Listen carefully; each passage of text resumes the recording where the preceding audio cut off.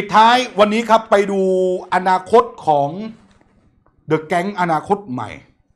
ที่ถูกยุบพักถูกตัดสิทธิ์กรรมการบริหารพักผมพาดหัวแบบนี้เลยนะครับ มันเป็นความจริงทางการเมือง เดี๋ยวผมจะให้สัจธรรมให้ฟัง การเมืองจบคดีไม่จบแก๊งอนาคตใหม่ มือดำเข้ารับทราบข้อหาชุมนุม มือดำก็คือเวลาไปรับทราบข้อหาเขาก็จะอะทาบฮะปึ๊บปึ๊บลายนิ้วมือ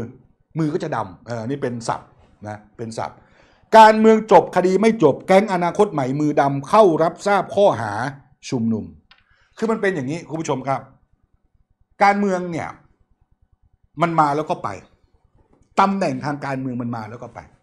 ฟังผมดีๆนะตำแหน่งทางการเมืองอำนาจทางการเมือง ลาบยศทางการเมืองมันมาแล้วก็ไปแป๊บเดียว วาระหนึ่งก็สี่ปี บางคนอยู่ไม่ถึงวาระอย่างอนาคตใหม่แบบเนี้ย แต่คดีมันจะอยู่ติดตัวไปเป็นสิบปี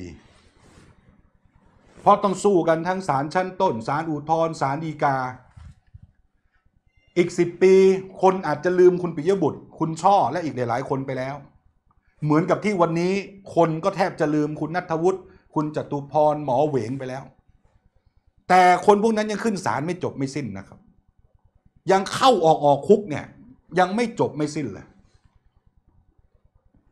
ผมเคยติดตามการเมืองแบบเข้มข้นแบบนี้แหละ ผมย้อนหลังไปสักประมาณ 10 ปีก็ได้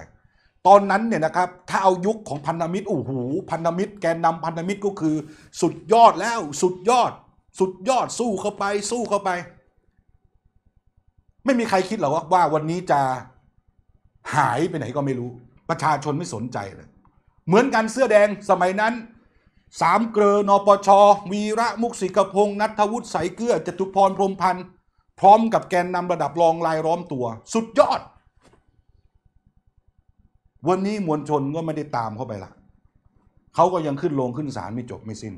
เช่นเดียวกันกับปปสและอีกหลายกลุ่ม เป็นสัจธรรม การเมืองตำแหน่งทางการเมืองลาบยศมาแล้วก็ไป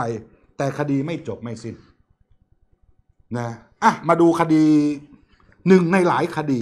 นะของคณะอนาคตใหม่เขา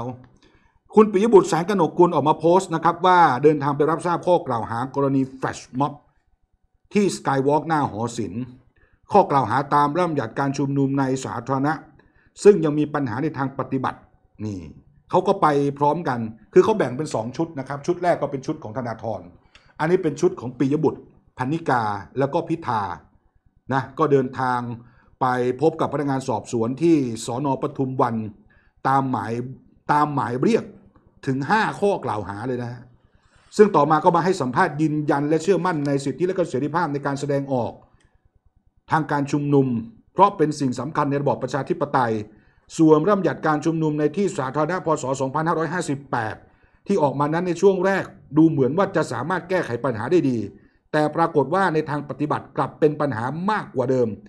ขณะที่เคยดำรงตำแหน่งเป็นประธานคณะกรรมการการกฎหมายการยุติธรรมและสิทธิมนุษยชน ก็เคยเชิญพบตรนะครับพลตำรวจเอกจักรทิพย์มาหารือเกี่ยวกับประเด็นดังกล่าว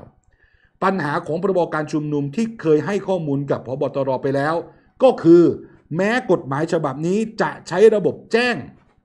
ไม่ใช้ระบบขออนุญาต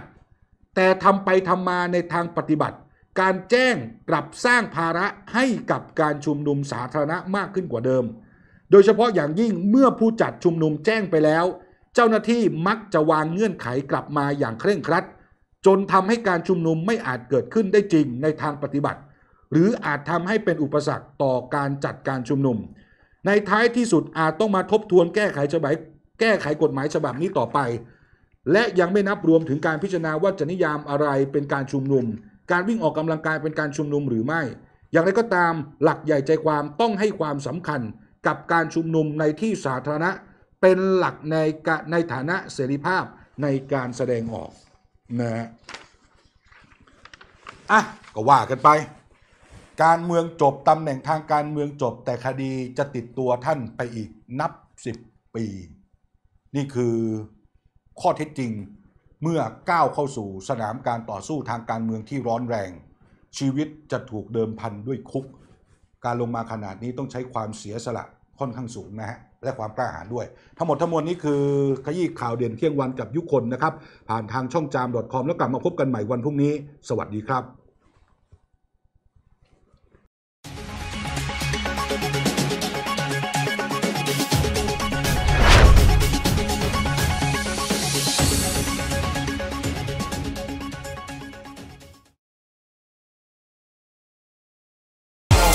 ติดต่อลงโฆษณาได้ที่ 0880 900 800 เพื่อติดตามข่าวสารที่นี่ก่อนใคร กด Subscribe กดเลย กดสิคะ กดเลยค่ะ